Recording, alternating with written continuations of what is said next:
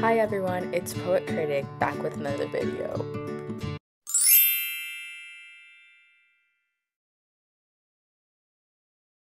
Today I'm going to start this video by talking about three films that represent sexual relationships.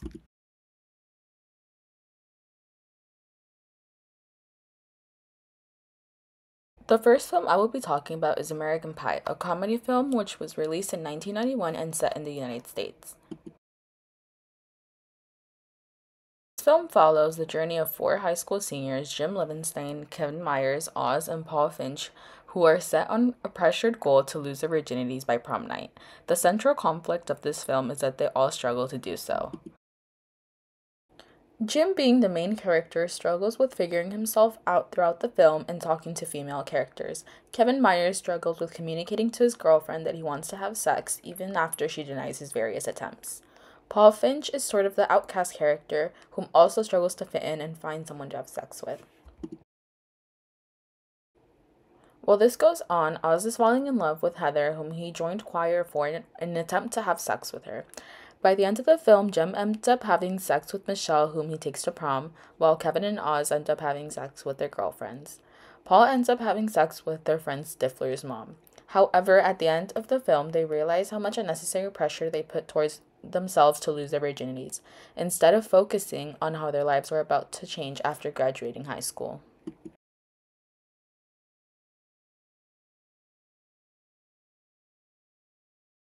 The second film I will be talking about is Friends with Benefits, a rom com film released in 2011 and set in NYC. The main characters in this movie are Jamie Rellis and Dylan Harper, both in their mid 20s. This film begins with Jamie trying to convince Dylan to take a job offer as an art director in NYC for a year so Jamie can earn a commission. After Dylan accepts, the two quickly become friends and on one special night agree to become friends with benefits and strictly have sex with no strings attached. While this agreement works well for a while, the two quickly begin to develop real feelings for each other. Jamie realizes this first on a trip to LA where Dylan ends up denying feelings for her and convinces himself he doesn't want anything serious with her. Jamie is hurt and the two go their separate ways and stop being friends. By the end of the film, Dylan realizes that he loves Jamie and confesses his feelings. The two end up together.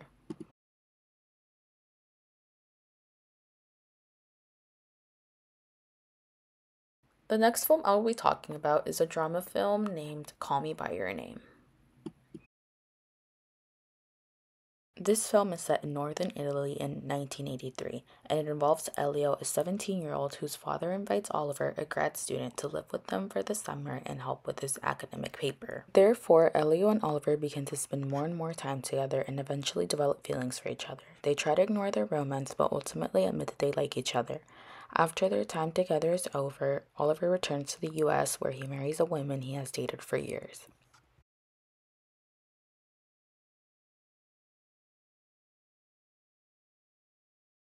Two patterns of misrepresentation seen across all three films were the beauty standards of characters as well as the need for coupling. The need for coupling is seen across all three films as all characters end up with a partner.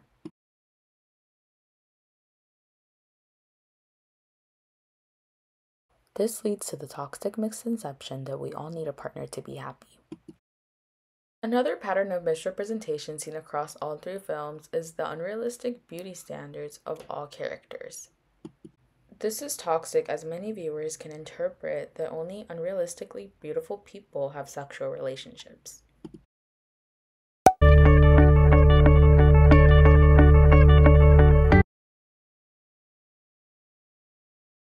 One pattern of unhealthy relationships seen across all three films is miscommunication in relationships. This also occurs in American Pie when Kevin fails to communicate and realizes that his girlfriend Vicky does not wish to have sex with him but is instead concerned about his feelings towards her, as well as their future. This also occurs in Friends with Benefits as Jamie and Dylan fail to communicate to one another that they are developing real feelings and should be more than just friends. This again also occurs in Call Me By Your Name as we see how badly Elio and Oliver communicate with each other, since Oliver has a whole secret relationship that Elio doesn't even find out about until the end. However, this is often seen in many films and TV shows, as miscommunication in relationships creates drama, which entices viewers to watch more. An article about unhealthy relationship talks about how miscommunication is harmful in relationships and doesn't allow both partners to be happy. And it is important to set healthy boundaries and learn how to deal with relationship conflict together in order to resolve issues when they arise. Another article talks about what a healthy relationship does look like, which includes setting boundaries, having communication, building trust, and most importantly, establishing consent.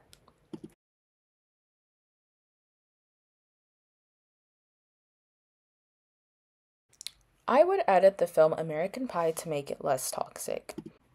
The plot of this storyline could just change into a coming of age film instead of solely focusing on sex. The film could end with characters finding themselves while enjoying their senior year of high school and planning their lives after graduation.